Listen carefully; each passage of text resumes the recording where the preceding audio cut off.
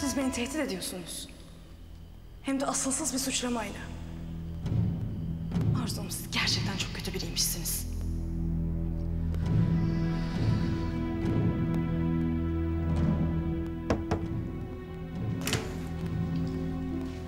E, Arzu Hanım benden istediğiniz proje dosyasını bulamadım. Orhan Bey en son sizin almış olduğunuzu söyledi. Dosya bende olsa senden niye isteyeyim?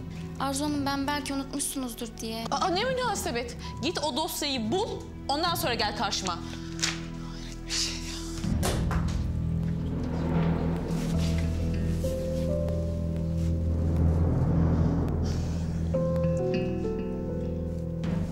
Arzu,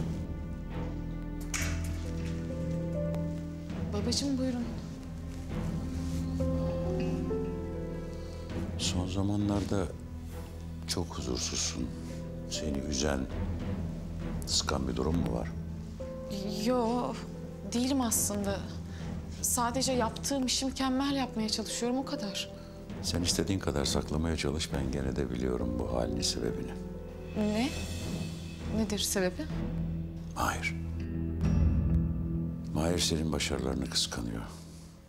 Bütün bu tavrı hırçınlığı da bu nedenle. Biraz önce hafta sonu bir şeyler yapalım dedim. Kabul etmedi. Sen gene onunla beraber programlar yapmaya devam et. O uyuyacaktır. Bilmiyorum babacığım. Eskiden sadece hırçındı. Şimdi ise hem soğuk hem de ilgisiz. Sen hiç merak etme. Ben onun kulağını çekerim. Sağ ol babam. Sağ ol.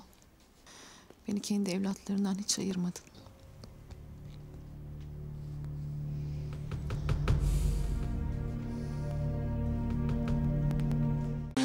ATV YouTube kanalına abone olun, hiçbir şeyi kaçırmayın.